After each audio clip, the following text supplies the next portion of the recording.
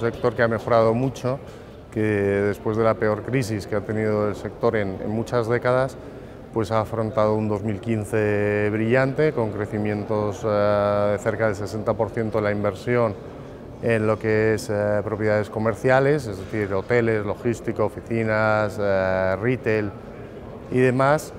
El año está yendo un poco más lento, pero sigue con tendencia positiva y yo creo que las perspectivas para los próximos 3-5 años son positivas. Por lo tanto, digamos, un notable alto. Hemos aprendido muchísimo.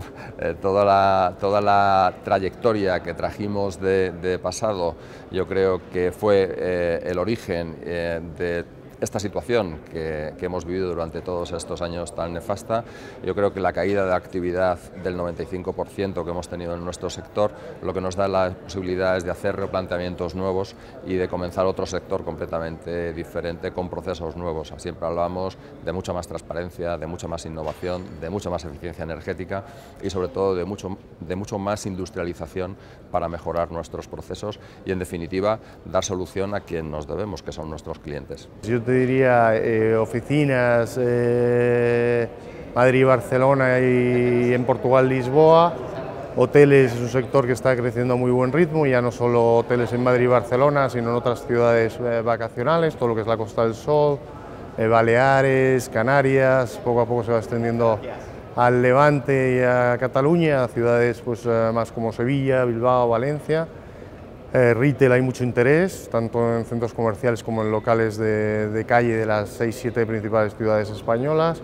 Y, el residencial, ¿no? que es una parte muy importante del, sector inmobiliario, pues poco a poco, eh, desde niveles muy, muy bajos después de la caída, pues sigue mejorando. Digamos, en eh, todo lo que es commercial properties, cerca del 85% es inversión internacional, ya sea con gestores españoles o directamente con gestores internacionales, muchos de ellos con gestores españoles, pero el dinero finalista ¿no? Está viniendo del exterior sobre todo. Bueno, eh, todas incertidumbres políticas afectan a todos los sectores productivos de la economía. Sí es cierto que nuestro sector tiene una inercia muy grande y desde que empiezan a notarse estas situaciones de más intranquilidad o incertidumbre hasta que se reflejan se tarda un tiempo. Pero sí que es cierto que estamos notando en los últimos meses que eh, no hay la misma acumulación de visitas que teníamos durante el mes de enero y febrero y que todo el mundo está con esa incertidumbre pendiente de que ocurrieran las próximas elecciones, pero que yo creo que en función de cómo está la economía global y, en concreto la de nuestro país, a partir de las próximas elecciones estoy seguro que otra vez continuará en el, proceso ascendente que traíamos. Yo pediría sentido común, estabilidad, visión a largo plazo y, trabajar un poco en, pos de, que la inversión siga creciendo y por lo tanto el empleo y los beneficios colaterales de la misma sigan funcionando. Entonces, eh, pues un poco sentido común en la legislación y no ahuyentar la, inversión con legislaciones eh, contrarias a cualquier tipo de inversión.